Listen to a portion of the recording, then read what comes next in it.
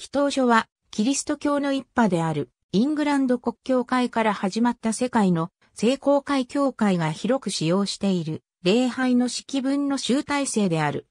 聖公会において、祈祷書とは聖公会系の教会で使用される祈祷、礼拝、儀式における手順を示した規則書である。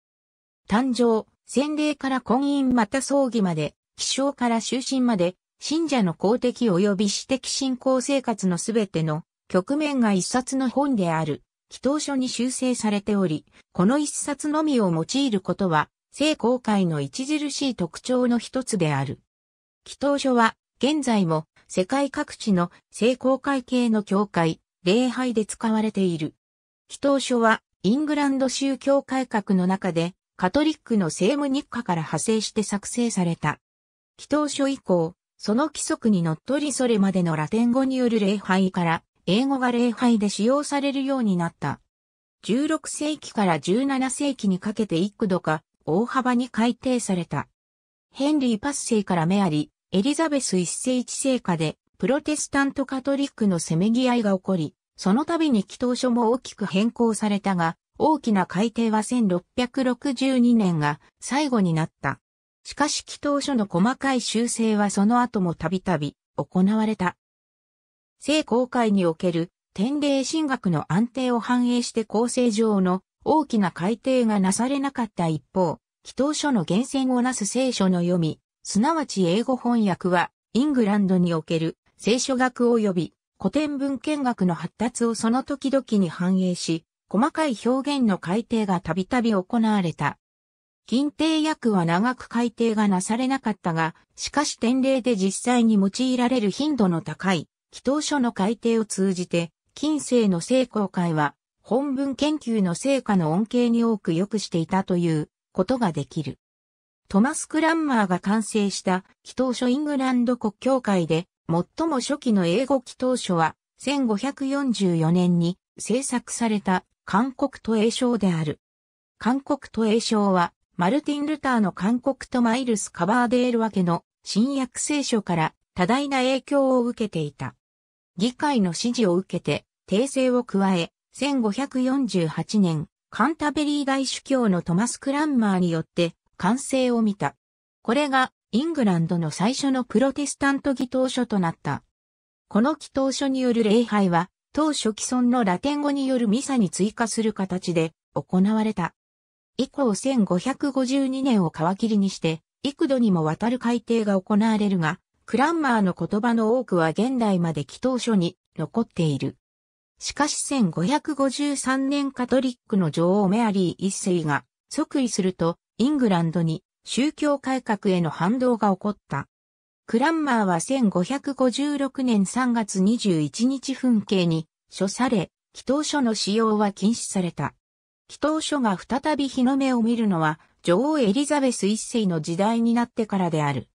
エリザベス一世は即位した翌1559年、新しい祈祷書を出版した。この版は100年以上にわたって使われ、スチュアート朝においても公式祈祷書となった。1559年版祈祷書は、アメリカ合衆国の最初の聖公会系の礼拝にも採用されている。この祈祷書は、以下の特徴を持ち、クランマー版よりもカトリック寄りに作られており、エリザベスの中道への思考が見て取れる。チャールズ一世がスコットランドに実施しようとして主教戦争を起こしたのも1559年版祈祷書であった。この版は1645年にピューリタンが多数を占めた長期議会によって違法とされるまで広く使われていた。王政復古の後、新しい祈祷書が作られた。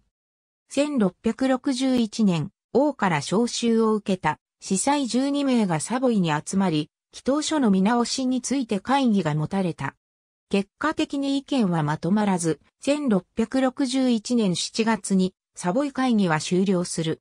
その後、改定の主導権は議会へと移り、トマス・クランマー版からおよそ600点に及ぶ改定が行われた。言語も2箇所を除いて近代化され、祈祷書に関する100年に及ぶ議論に決着がついた。この版は、英国王公認の正式な祈祷書とされ、英国国教協会はじめ英語圏に属する各宗派に多大な影響を与えた。これ以降も改定がなされたが、いずれも小規模なもので、基本的には1662年改定版が現在も使われている。1662年版以降、祈祷書改定の大きな動きは見られなくなった。17世紀後半にプロテスタント化をさらに徹底させた祈祷書も作られたものの国教会は受け入れなかった。しかしこの祈祷書は多くのイギリス植民地の国教会系の教会に広がった。祈祷書改定の動きが出てくるのは20世紀初頭になってからである。1927年に完成した改訂版は国教会保守層にも受け入れられるように、礼拝の方法は、各々の教会、教区によって決められるとした。こうした柔軟な対応が受け入れられ、国教会の聖職者会議、総会は1927年版を承認した。しかし、カトリック寄りであるという批判もあって、イギリス議会会員は採択を否決した。このため、正式の祈祷書として用いられることはなかったが、一部の式文はザ・オルターナティブ・サービス・ブックに再録された。2000年に英国聖公会は新しい祈祷書を含むシリーズ、コモンワーシップの使用を始めた。これは、それまで大体的に使用が許可されていたオルターナティブサービスブックに代わるもので、聖書日課は3年サイクルの改定共通聖書日課が採用され、これまでの祈祷書と共に併用されてゆく。1596年のスコットランド祈祷書、スコットランド聖公会は、長老派教会がスコットランドの大多数を占める中にあって、独立した祈祷書を持っており、1764年に大きな改定が行われて、1929年には完全な形で発行されている。以来1982年にはユーカリスト文が現代風のものが追加されるなどのたびたびの改定も行われている。聖公会祈祷書は世界のアングリカンコミニオンへ広がりを見せた。日本聖公会祈祷書日本聖公会でも全国統一の祈祷書が用いられている。1859年から日本での宣教が開始された時には米国聖公会、英国聖公会の宣教師が持ち込んだ派遣元の祈祷書及びその日本語訳が用いられていたが、1879年には聖公会、祈り文としてまとめられている記録があり、1887年には日本聖公会が設立されると、ローマ字の日本聖国は祈祷版もできる。1895年には大改定した日本聖公会祈祷書が刊行されて、これは生産式には英国式と米国式を併記している。この祈祷書はまた何回かの改定を経て、1939年には戦前最後の改定が行われて、これが最後の旧仮名遣い祈祷書となる。1959年には翻訳版でない日本独自の祈祷書である日本聖公会祈祷書が日本聖公会教務員によって発行された。文庫本サイズで黒色のハードカバー表紙に十字架があり、背表紙には金文字で日本聖公会祈祷書紙編譜と記されている。1959年版祈祷書には全編を通じて文語が用いられているが現代仮名遣いになっており、生産式で用いられる手術ごとの徳、等、使徒書、福音書朗読箇所なども掲載されている。初期等、感謝の項には、英国聖公会の君主、皇室への祈りに倣って、日本の天皇や皇室に、神の助けを願うという祈りも残っていたが、これは1988年版祈祷書から除去している。現在使用されているのは日本製公開祈祷書である。1959年版祈祷書をベースに競技や社会情勢の変化などを取り入れて改定が行われた。文体が交互体に改められ、文書レイアウトも縦書きから横書きへと変更され、聖書日課は改定共通聖書日課を使っている。2000年に日本のカトリック教会と主の祈りの共通交互訳を発表したことなどに伴い改定が行われている。韓国語祈祷書1965年、大韓成功会は1662年の成功会祈祷書をもとに韓国語祈祷書をコンドンキドムンとして出版した。1994年には大韓成功会主教員で許可された改訂版が発行された。続いて2004年には大韓成功会総会で承認された現行の孫言壁ドスが発行されている。1965年版から2004年版への文章上の違いは、韓国語共同翻訳聖書に沿って、神が漢語のチョンジュから韓国固有のハヌニムへ変更されたなどである。中国語祈祷書、祈祷書は中国語では、教祈り書と呼ばれている。中国へは19世紀前半から米国聖公会、英国聖公会が宣教を行っていて、1912年には中華聖公会を設立している。教祈り書は各教区が独自に作って使用していた。英国聖公会の祈祷書初版完成400周年を期して、統一、教祈り書の1949年完成が計画されたが、同年の中華人民共和国の成立後間も、なくすべての教派が中国キリスト教教会参加になるに従い、中国大陸では聖公会の教祈り書は使われなくなった。1962年以来4年ごとに開催されている聖公会東アジア会議の指摘で、東アジア式文が1983年に提案されている。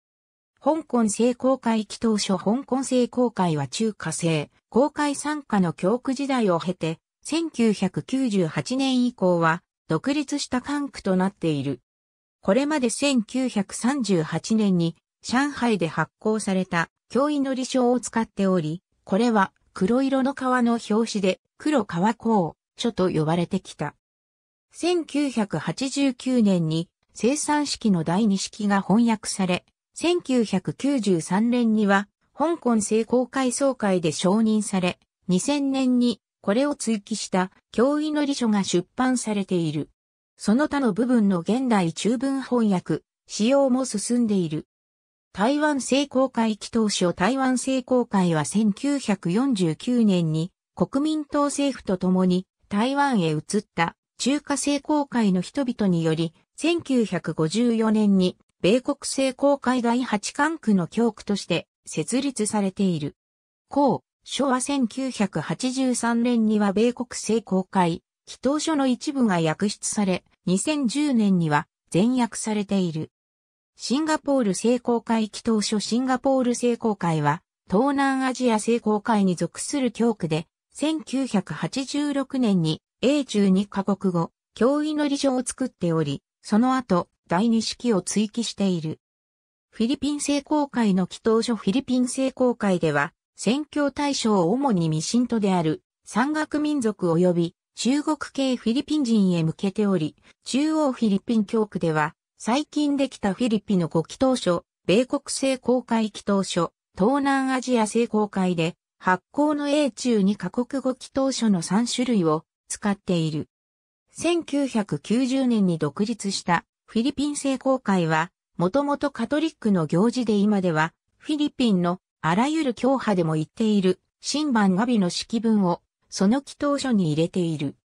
インドインドでは聖公会の現代で初めての合同教会としてメソジスト教会、改宗派教会、長老派教会、オランダ改革派教会も入れた南インド教会が1947年に成立し、聖公会祈祷書も考慮した共同礼拝所が教会成立当初から使われてきた。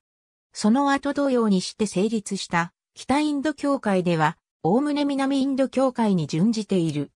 南アフリカ共和国、ナミビアなどに展開する南部アフリカ聖公会では、独自の祈祷書を1954年に作り、それは、その後1989年に改定されている。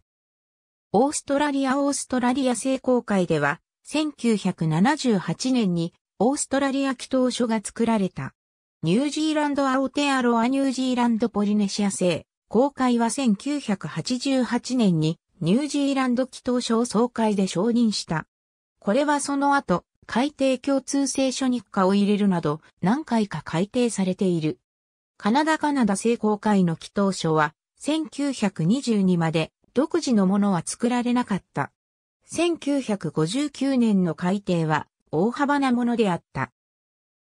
米国聖公会祈祷書米国聖公会の祈祷書の扉1607年に最初の小教区が開かれるも、アメリカ独立戦争の時にイギリス聖公会からの使徒継承ができなくなったアメリカの聖公会協会はスコットランド聖公会に助けを求め、1784年にイギリス以外での初めての司教がアメリカで誕生し、その後独立して米国聖公会を1789年に正式に発足させている。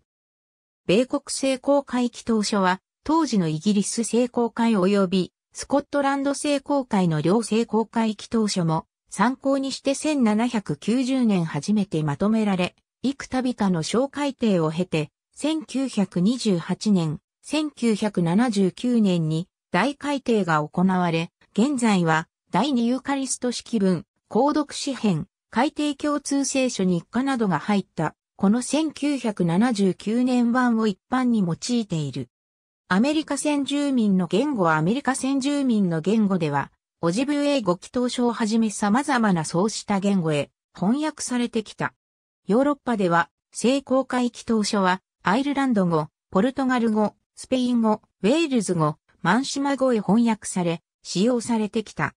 2003年、米国ローマカトリック教会は、ローマカトリック教会の認可した祈祷書を発表している。1928年版をローマカトリック式にアレンジしたものであり、主にアメリカでの米国聖公会からカトリックに改修したもの向けに作られた。ジェームズ・オーバン聖書とシェイクスピアと共に、聖公会聖書は英文学に大きな貢献をしていて、いつつかの表現がよく知れ渡っている。ありがとうございます。